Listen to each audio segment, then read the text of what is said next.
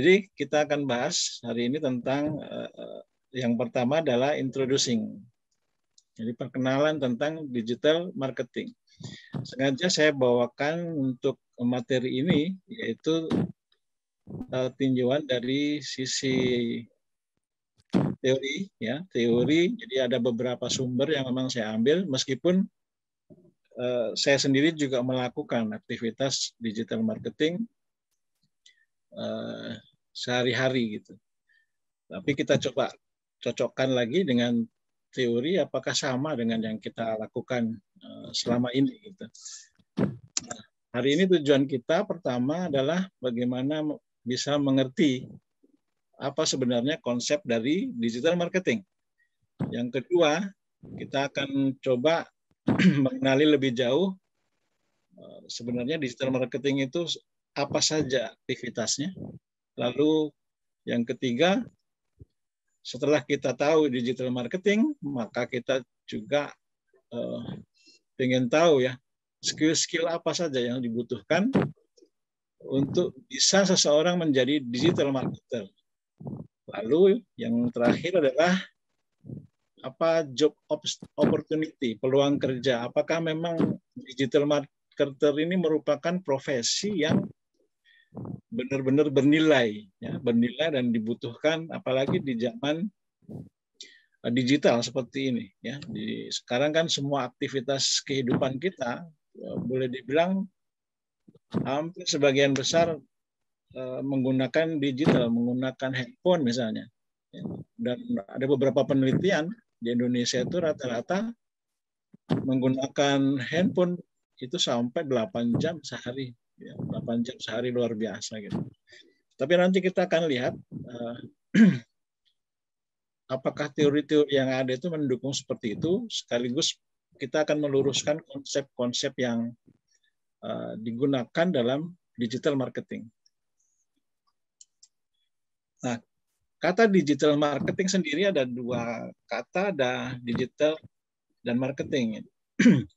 digital sendiri kalau secara ilmu komputer itu biasanya ada namanya bilangan biner ya, 0 dan 1 gitu ya. Itu yang kode-kode yang perkembangannya sekarang kita dengar istilah coding gitu ya, program-program coding. Nah, digital sendiri, digital teknologi sendiri itu pada prinsipnya dia eh, apa namanya mengkompres data yang atau informasi yang besar menjadi kecil. Karena sudah berhasil dikompres jadi kecil, maka mudah untuk dikirimkan. Jadi mudah dan cepat untuk dikirimkan ke tempat yang yang lain. Kalau kita bayangkan saja misalnya dulu pada waktu kita uh, yang mahasiswa kalau mau bimbingan skripsi misalnya itu harus ngeprint dalam jumlah yang tebal dibawa ke sana kemari. Tapi sekarang bimbingan tinggal uh, soft filenya di dalam jumlah yang kecil ya, storage-nya kecil lalu kita kirim udah simple gitu. Jadi itulah digital teknologi contohnya. Kemudian dalam kehidupan Eh, digital teknologi juga sudah digunakan oleh orang untuk berkomunikasi. Kita komunikasi dengan orang seperti sekarang ini sudah menggunakan digital teknologi ya. Kemudian untuk belajar apalagi sejak ada pandemi itu juga sering kita pakai untuk belajar. Kemudian dalam bekerja ya, ada yang sering menggunakan pada waktu work from home misalnya. Itu udah pakai digital teknologi ya atau mungkin bidangnya juga bidang-bidang uh, teknologi. Nah, marketing sendiri, kata marketing sendiri itu uh, dari beberapa waktu itu mengalami perubahan makna ya. Perubahan makna dari waktu ke waktu, tapi yang saya coba angkat di sini adalah uh, makna marketing yang terakhir disampaikan oleh Kotler dan Armstrong ya dalam buku Principle of Marketing tahun 2018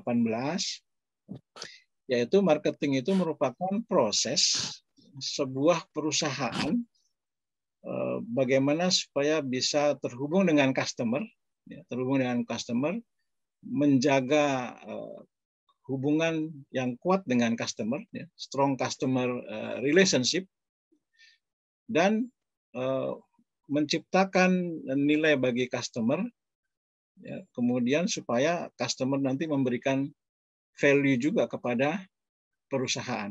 Jadi kalau boleh kita ambil gampangnya, marketing itu sebenarnya eh, ber, apa namanya berfokus pada dua hal, dua tujuan yaitu pertama adalah bagaimana menggait customer baru, bagaimana memperoleh customer baru dengan menjanjikan nilai ya, nilai kepada customer. Kemudian bagaimana bisa eh, menumbuhkan atau mengembangkan customer yang eh, sudah ada ya dengan cara memberikan atau mendeliver nilai dan kepuasan. Jadi intinya adalah eh, kita potong lagi adalah customer relationship. Jadi marketing itu tujuannya adalah untuk memperoleh atau membina atau mengembangkan customer relationship yang tujuannya nanti supaya bisa mendatangkan keuntungan bagi perusahaan.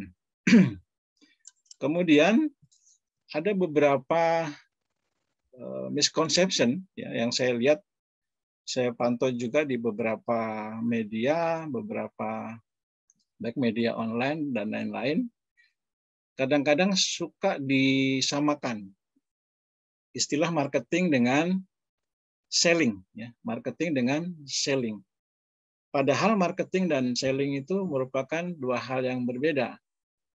Contoh misalnya kita sebenarnya menjual barang tapi kita sudah bilang itu marketing. Padahal marketing tidak hanya menjual saja gitu ya. Jadi selling itu adalah bagian dari eh, marketing. Nah, kalau kita eh, inventarisir, maka kita bisa lihat di slide bahwa ada dua ada perbedaan-perbedaan antara marketing dan uh, selling ya. Pertama yaitu marketing itu uh, istilahnya kita mencoba menawarkan kepada uh, apa customer ya barang atau jasa tapi yang sesuai dengan yang diinginkan oleh customer gitu. Beda dengan selling. Selling itu kita uh, sudah ada barangnya, kemudian uh, kita tawarkan, uh, kita paksakan ke customer atau pelanggan untuk membeli barang yang kita punya gitu. Jadi itu apa namanya esensinya seperti itu. Jadi kalau marketing sebenarnya apa yang diinginkan konsumen kita berusaha memenuhi apa yang diinginkan itu misalnya menciptakan produk yang sesuai dengan keinginan mereka dan seterusnya. Tadi kalau selling ini produknya udah ada, tinggal kita suruh mereka beli. Gitu.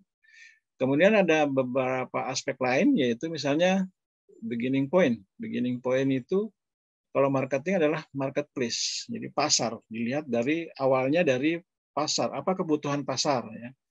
Kalau selling itu dari factory, dari pabrik. Ya. Pabrik memproduksi barang gitu. Ya. Jadi produknya dulu diadakan, baru nanti diusahakan dilempar ke pasar. Kalau marketing, bagaimana keinginan pasar yang harus kita penuhi? Nah, dengan beginning point seperti itu, maka eh, cara pandangnya kalau marketing adalah outside in, ya outside in, jadi dari luar masuk. Kalau yang selling inside out. Terus concentrate on, jadi konsentrasinya pada marketing adalah consumer need, eh, kebutuhan dari konsumen. Kalau produk, eh, kalau selling itu dari produk kita, jadi dari sisi perusahaan. Kemudian business planning, perencanaan bisnisnya juga berbeda. Kalau marketing itu perencanaannya untuk long term, ya, jangkanya panjang, ya karena namanya menjaga customer relationship tentu butuh waktu eh, mereka harus beli lagi dan seterusnya. Sedangkan kalau selling short term. Nah dengan business planning dengan jangka waktu seperti ini maka eh, orientasi marketing itu adalah profit ya. Profit yang berkesinambungan, sedangkan selling adalah volume, menjual sebanyak-banyaknya gitu ya. Meskipun yang diharapkan juga profit ya. Nah, kemudian cost cost price atau harga kalau marketing itu uh, market ascertain. Jadi kalau misalnya uh, kita lihat Eh, seberapa besar customer memberi value kepada produk kita ya itu maka kita bisa menentukan harga yang berbeda misalnya. Tapi kalau selling biasanya dihitung dari cost of production.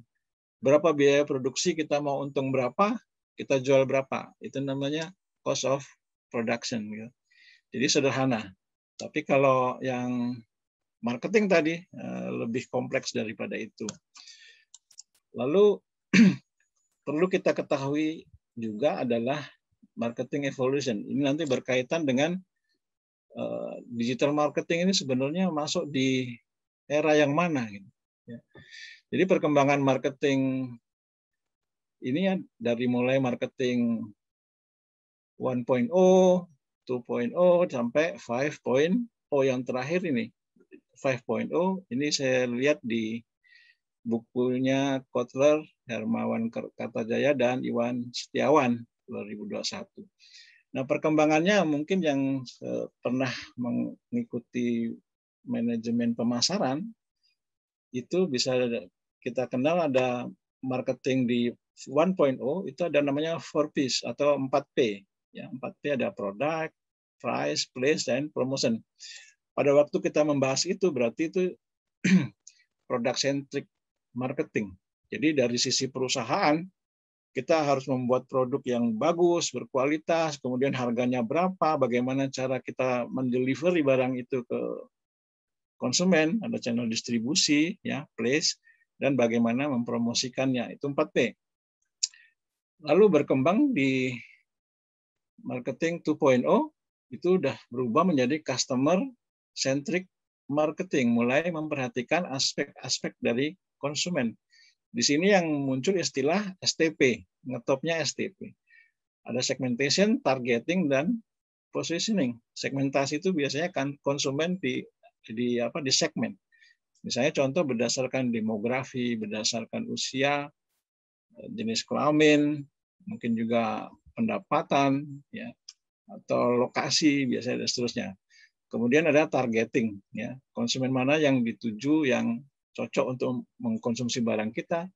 Lalu positioning, bagaimana persepsi konsumen terhadap eh, barang kita, apakah barang kita memang sudah terkenal bagus atau mungkin baru ya dan seterusnya. Nah, ini juga muncul apa namanya konversi yang dulunya 4P menjadi 4C ya 4C ini sebenarnya konversi saja dari 4P yang tadinya produk eh, karena customer centric itu menjadi eh, customer value. Ya C pertama itu jadi customer value. Kemudian C kedua eh, kalau di P itu price yang C kedua adalah cost ya cost berapa biaya yang harus dibayar oleh konsumen gitu kemudian yang ketiga adalah place atau distribusi di sisi konsumen itu dianggap sebagai convenience. Convenience itu adalah kenyamanan atau kemudahan untuk uh, mengambil barang ya atau memperoleh barang dari uh, produsen atau dari toko dan sebagainya. Kemudian yang keempat P keempat adalah promotion. Ini maksudnya kalau di konsumen itu dianggap sebagai communication ya. Jadi ada 4C. Jadi ada customer value, eh, bagaimana Eh, konsumen menilai produk kita. Kemudian ada cost, ya, berapa biaya yang harus dikeluarkan untuk memperoleh produk kita. Kemudian uh, convenience, mudah hendak untuk memperoleh barang kita. Dan ke C keempat adalah communication, ya, komunikasi dari promosi. Nah, ini biasanya untuk barang. Kalau untuk jasa ada lagi ya 7P nanti berkembang lagi jadi 7C gitu. Jadi tapi itu masih marketing 1.0 sama 2.0 eh, kemudian selanjutnya berkembang menjadi marketing 3.0 atau human centric marketing. Itu ada kemanusiaan. Di sini masuk ethical etik etis, ada sosial, ada bahkan di, lebih dikenal marketing 3 point itu adalah spiritual ya masuk uh, spiritual jadi perusahaan di sini mulai mulai apa membangun image yang baik-baik bahwa perusahaan kita adalah perusahaan yang memperhatikan hak asasi manusia, memperhatikan lingkungan hidup, ya, memperhatikan ya muncullah di sini apa ya, perusahaan-perusahaan mulai munculkan CSR dan sebagainya. Itu untuk membangun apa namanya ya public relation yang baik di masyarakat bahwa perusahaan kita memang memperhatikan human kemanusiaan. Kemudian yang ke berikutnya adalah marketing 4.0. Di sinilah mulai bergeser eh, tradisional to digital. Digital marketing mulai dari sini. Ya, digital marketing mulai dari dari sini. Jadi bagaimana mengkomunikasikan dan uh, menyampaikan menggunakan multi channel eh, marketing. Banyak channel yang bisa digunakan. Jadi eh, tidak tidak murni 100% yang tradisional ditinggalkan terus berganti digital tapi mulai di apa dikombinasikan.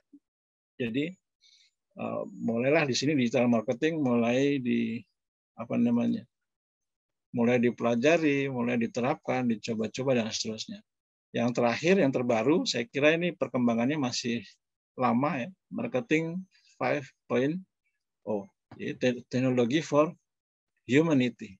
Jadi marketing 5.0 ini juga merupakan uh, integrasi antara marketing 3.0 dan 4.0. Intinya adalah di marketing 5.0 yaitu uh, dulu istilahnya ada namanya artificial intelligence atau kecerdasan buatan di mana kita membuat teknologi itu atau membuat kecerdasan untuk meniru manusia gitu. Seperti robot gitu. Jadi robot yang diciptakan itu diberi kecerdasan supaya seperti manusia itu artificial artificial intelligence. Sedangkan di 5.0 itu mulai menggunakan intelligence amplification, yaitu bagaimana manusia eh, bisa berkembang lebih baik dengan memanfaatkan eh, teknologi, ya, dengan memanfaatkan teknologi. Dan sebenarnya ini sudah kita alami. Kita sendiri sekarang eh, bisa tambah pinter, tambah cerdas, tambah praktis dan sebagainya karena teknologi teknologi itu yang kita namakan intelligence amplification. Nah, untuk eh, apa namanya? Untuk tahunnya kapan sih marketing 1.0 eh, sampai 5.0? Ini tahun-tahunnya seperti ini nih. Jadi marketing 5.0 itu mulai dari 2021 ya, nanti dan seterusnya gitu. Nah, siapa saja yang nanti akan generasi mana saja yang akan banyak merasakan itu ini sudah kita eh, coba apa namanya tarik garis ya. Itu ada beberapa generasi yang kita kenal. Ada baby boomers ada gen X ada gen Y generasi Y ada generasi Z. Ada juga yang generasi alpha yang terbaru yaitu yang lahirnya eh, tahun 2010 sampai sekarang ya. Sekarang berarti dia masih umur 11 tahun gitu. Nah, kalau kayak saya mungkin masuk Gen X ya, Gen X. Kemudian kalau Mbak Loren mungkin masuk di Gen Z ya, Gen Z ya. Tentu apa namanya? Eh, dulu pada waktu masa-masa masa-masa misalnya tahun 2010-an ya Gen X itu yang kena adalah marketing 2.0 dan marketing uh, 3.0 ya. Jadi sasaran kita kenapa kita perlu mengetahui ini adalah yaitu uh, digital marketing tadi itu masuk kategori di marketing 4.0 ya. Sehingga sasarannya adalah yang kena adalah kalau gen Y dan gen Z ya termasuk nanti gen gen alpha Yang berikut adalah uh, digital marketing. Itu sebenarnya uh, apa namanya? merupakan irisan ya irisan dari uh, beberapa ya beberapa aspek ya. misalnya teknologi jadi digital marketing itu ada teknologi jadi terlibatlah teknologi di dalam digital marketing ya, seperti tadi kita sudah singgung di awal kemudian ada marketing touch ya marketing touch itu uh, bagaimana cara kita menggunakan strategi marketing. Ya, tadi ada marketing eh, 3.0 dan seterusnya. Kemudian digital marketing juga digunakan dalam komunikasi. Ya, komunikasi itu dipakai dalam digital marketing. Plus distribusi. Ya. Contoh misalnya distribusi itu nama intinya adalah bagaimana mendeliver produk dari produsen bisa sampai konsumen. Nah, sekarang contoh paling sederhana digital marketing eh, pengaruhnya terhadap distribusi. Misalnya ya kalau kita membeli barang, kita ingin makan misalnya. Kita ingin makan, berarti produknya yang kita ingin peroleh adalah makanan. Tidak perlu kita mencari ke mana-mana, cukup gunakan teknologi. Kita pesan makanan sudah ada di, di, di depan pintu pagar gitu kan. Itu namanya di, distribusi yang di apa namanya yang dimudahkan oleh digital digital marketing. Kemudian digital uh, digital sendiri ada uh, sangat apa namanya sangat merupakan alat yang sangat powerful ya karena bisa memperkuat relationship. Sebenarnya ini bahasa positif. Kadang-kadang kalau di zaman sekarang kita lihat ya, digital juga bisa juga memperburuk relationship ya, tergantung penggunaannya. Tapi kalau dalam sisi pemasaran, digital ini merupakan alat yang uh, sangat bagus untuk digunakan dalam membangun brand, eh, image ya, kemudian memperkuat relationship dengan konsumen. Kemudian menurut Kanan dan Lee itu juga mengatakan bahwa dengan di digital marketing ya, kita bisa menggunakan Eh, apa namanya digital teknologi untuk menciptakan value ya dengan model dengan uh, uh, perspektif yang baru ya dengan memberi pengalaman yang baru juga kepada konsumen yang baru pelanggan baru bagaimana berinteraksi model baru ya dan seterusnya. Jadi banyak hal-hal yang kita alami yang baru-baru karena adanya teknologi dan digital marketing. Nah, di, di sebelah sini ada kita lihat ada beberapa data bahwa uh, digital marketing itu ternyata uh, banyak digunakan dan ini khusus uh, apa namanya yang contoh misalnya ada 62% perusahaan menyadari bahwa kenaikan penjualannya itu setelah mereka mendesain Eh, mobile friendly website. Jadi mereka bikin website tapi yang eh, mobile friendly bisa dilihat di handphone dan seterusnya. Kemudian juga eh, smartphone. Smartphone itu juga merupakan alat yang digunakan sebagian besar digunakan untuk melakukan searching. Ya. Kemudian juga video, video marketing. Sekarang orang lebih suka melihat video-video. Ya yang visual karena di situ dia sudah bisa melihat uh, ada informasi yang banyak yang bisa didapat dari daripada membaca. Ya, waktunya pun lebih cepat, lebih indah dan seterusnya. Kemudian ada perkembangan lagi sudah menggunakan voice search engine. Jadi kita mau cari apa tinggal pakai suara.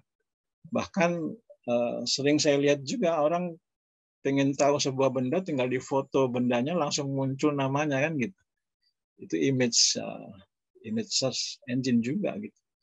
Nah, perkembangan ini yang tidak akan berhenti sampai di sini saja. Di, nanti ke depan kita belum tahu masih akan ada lagi perkembangan-perkembangan yang tidak kita duga yang mungkin nanti susah diterima akal oleh generasi-generasi yang lama. Ya, misalnya baby boomers atau generasi saya misalnya, kok bisa sekarang seperti itu, gitu ya, dan seterusnya. tentu yang generasi-generasi terbaru mulai eh, bahkan sudah hidup dengan perkembangan-perkembangan digital seperti itu. Nah, apakah kita harus meninggalkan digital marketing, eh, tradisional marketing, terus kita pakai digital marketing saja?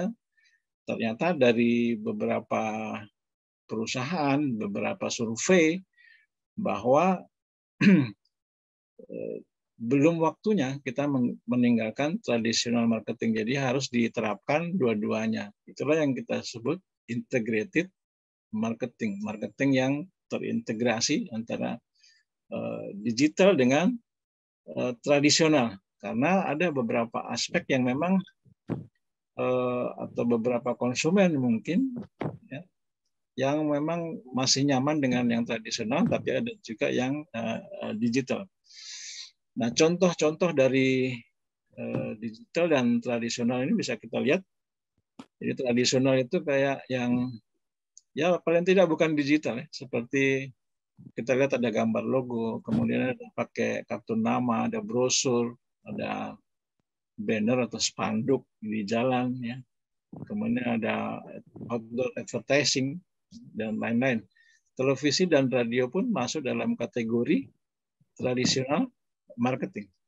Yang digital marketing yang di sebelah ada website ya, ada konten marketing, SEO dan lain-lain. Ini akan di kalau kita ikut pelatihan atau kursus digital marketing ini akan dibahas secara detail ya.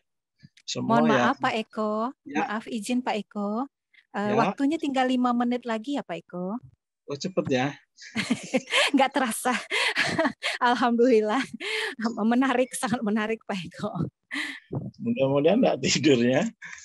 Oke, saya coba uh, persingkat. Jadi uh, ada juga istilah push marketing dan uh, pull marketing. Ya, push marketing itu adalah kita mencoba mem, apa namanya uh, membuat strategi di mana perusahaan mengirimkan produk atau memaksa informasi tentang produk kita atau pesan tentang produk kita kepada pasar gitu. Itu namanya push.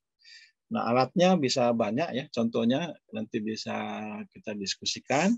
Sedangkan pull marketing itu adalah Eh, di mana strategi ini biasanya dipakai apabila konsumen sudah mulai tertarik dengan produk kita dan mereka akan men-searching men-searching produk kita gitu.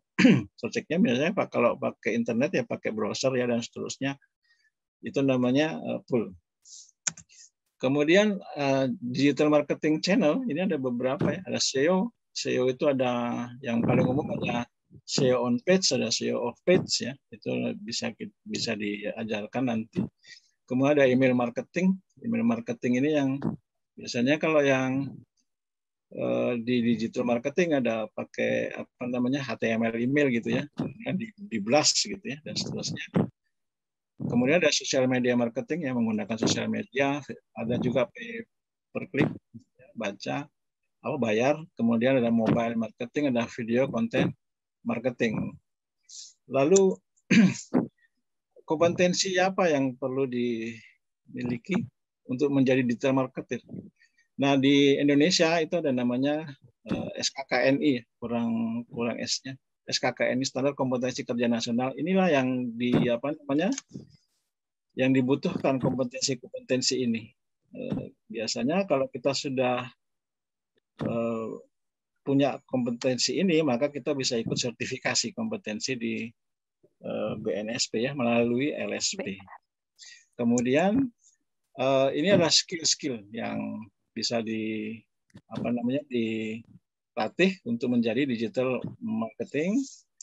Kemudian eh, dua slide lagi. ya baik Pak. Digital jobnya gimana? Ini saya coba cari di ini salah satu contoh saja dan di job street ya. Gajinya sekitar sekitar gini, ya yang tiga setengah sampai 15 juta ini di Indonesia. Tapi kalau di luar ternyata modelnya ada ada yang per hour, ada uh, ada per month, ada per year ya. Ini di Amerika, USA, lumayan sih gede. Jadi kalau sudah sampai bisa go internasional, luar biasa. Ya. Nah, saran, dari saya adalah untuk meningkatkan uh, skill kita, kita harus ikut kursus. Ya. Kalau bisa ikut kursus digital marketing di Rif Guru gitu ya. Kemudian ikut sertifikasi sebagai bukti. Kalau kita belum pernah punya portofolio, bisa kita ikut sertifikasi dulu supaya kita diakui. Ini adalah referensi yang saya ambil dari beberapa uh, pustaka. Ya. Kira-kira itu saya tutup dengan uh, satu quote yaitu the greatest of all, as said, is to be conscious of. Maksudnya kesalahan terbesar kita adalah uh, kalau kita tidak kita menyadari bahwa kita ini tidak punya tidak punya arti sama sekali gitu ya. Jadi kita harus menunjukkan bahwa kita itu punya arti. Ya, sekian dari saya. Assalamualaikum warahmatullahi wabarakatuh.